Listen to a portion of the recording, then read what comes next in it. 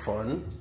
Living in an apartment that you pay 900 bucks a month for, uh, that ceiling is falling down and could fall down and crush you at any moment.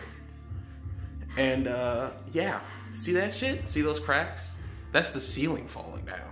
Because it turns out none of this is screwed into the rafters. It's just fucking drywall and plaster. It's crazy. Any moment, any part of this ceiling could come crashing down. You want to know how we know? Because this part already did.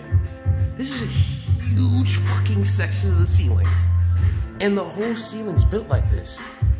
Like, look, there's a bigger crack in here that goes along this entire ceiling. Look at that. Click, click, click, click, click, click, click, click, click, click, click, click, click, click, click, click, click. That's just, that's the ceiling. That part already fell down.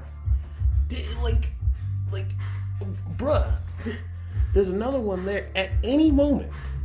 This whole shit could just come crashing down on my head. That's not even a joke. This shit is so fucked.